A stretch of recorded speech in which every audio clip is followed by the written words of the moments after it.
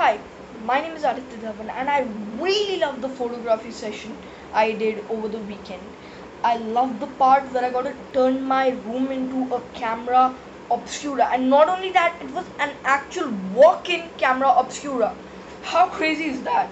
Not only that I also got to learn how to spill light the basics of photography i learned them all the four basic features of photography and i mean if you ask me, mainly I would have trouble with the lightings because it would be like half the face was sta- shadowed and the other half was bright.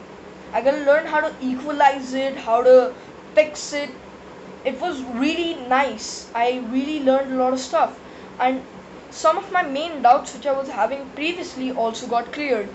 Like I was having trouble clicking group photographs previously because only one or two people's maximally face was visible in them and the rest would be like not at all visible. They were blurred out. I got to learn how to make them visible too and it was completely outstanding. Focusing on the middle was the trick. I i never thought of that.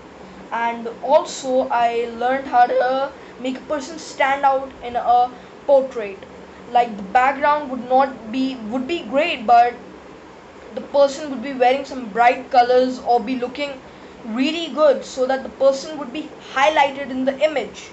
It was really nice. I also had some more additional doubts which got cleared but i'm not gonna go deep into it. But overall i loved the session. It was really great. I was really happy that i got to be part of the kids who were selected. Thank you